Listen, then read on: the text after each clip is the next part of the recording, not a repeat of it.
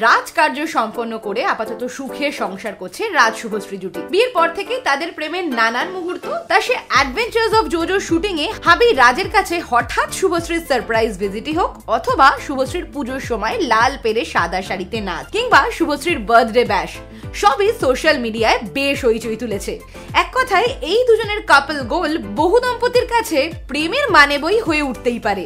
আর এবার আরেক লাভ বার্ডস ধরা দিল সাত পাকে। ডিরেক্টর রাজা চন্দ্রের সাথে বিয়ে হয়ে গেল মডেল কাম অ্যাক্টর পিয়ানের। সেই বিয়েতেও রাজ এলেন সস্ত্রীক সেখানে শুভশ্রীকে পাওয়া গেল রাজা এবং পিয়ানের সাথে গল্প, আড্ডায় ব্যস্ত, আবার কখনো বিয়ে বাড়িতে আসা অন্য অতিথিদের সাথে আলাপচারিতায় ব্যস্ত। তবে শুধু রাজ শুভশ্রী নয়, বিয়েতে আলাদাভাবে নজর কেড়েছেন যিনি, তাকে যে শাড়িতে অসাধারণ মানায়, তা দর্শক আগে থেকেই জানতো, তবে এই বিয়েতে আলাদাভাবে স্পেশাল হয়ে উঠলেন তিনি তার অ্যাপিয়ারেন্সে তিনি হলেন সায়ন্তিকা ব্যানার্জি। সিটি সিনেমার পক্ষ থেকে রাজা চন্দ এবং পিয়ানকে তাদের নতুন জীবনের অনেক অনেক শুভেচ্ছা।